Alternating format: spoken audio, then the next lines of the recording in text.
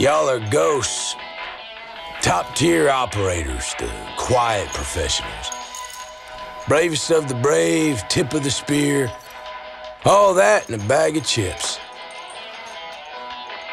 But even a bad motherfucker needs help once in a while.